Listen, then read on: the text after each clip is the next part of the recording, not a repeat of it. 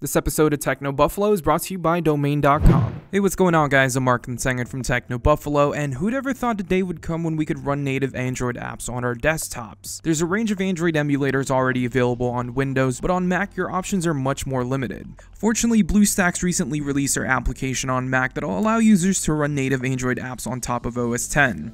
Think of it as a virtual OS running on top of your desktop. The overall interface of BlueStacks is pretty simple. The homepage features an app store which shows recommended applications that have been tested to work with the emulator. Now these are split into different categories including top apps, social and communications, audio and video, and tools and productivity just to name a few. In order to properly set up BlueStacks, you'll need to sign in with your Google account which shouldn't take more than a few minutes. Once the initial setup is finished, you're pretty much all set and you're ready to download apps from the Google Play Store. A big concern that I had prior to installing BlueStacks was performance. Now since these apps are running natively on top of a virtual Android OS, I wasn't sure how well these apps would perform since they weren't really developed for desktops. But to my surprise, apps work really well. On a 2012 iMac with 32GB of RAM and an i7 processor, apps like Clash of Clans, Crossy Road, Asphalt 8, and Boomdots were smooth. There's little to no lag in any of the games that I played, and I also tested out Instagram, though I did run into some problems trying to upload a picture, but nonetheless, it's still pretty cool. What's awesome about BlueStacks for Mac is that it supports Retina displays and also multi-touch gestures on Apple's trackpad. Clash of Clans, for example, will take advantage of the multi-touch feature to zoom in and out of the field. The main reason why I would want to install an Android emulator on my Mac is because of the games that are available on Android that aren't really available natively on PC or Mac. There are thousands of great games that are available on Android and the ability to play them directly on my computer is pretty awesome.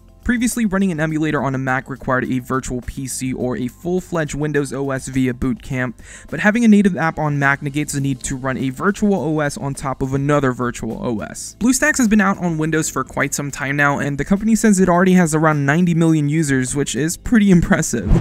Let me stop the video real fast and thank our friends over at Domain.com. It's the place to go when the next great idea hits you. It's a one-stop shopping for all your domain names and web hosting email needs. Domain wants to hook our fans up with a pretty cool offer. Save 20% on domain names and web hosting if you use the coupon code TechnoBuffalo. It's all one word in caps at Domain.com's checkout. BlueStacks is free for both Mac and Windows, and if you guys want to check it out for yourselves, we've included the links down below. Anyways, thank you guys so much for watching, and if you guys enjoyed this video, make sure to give it a thumbs up, and we will see you guys in the next one.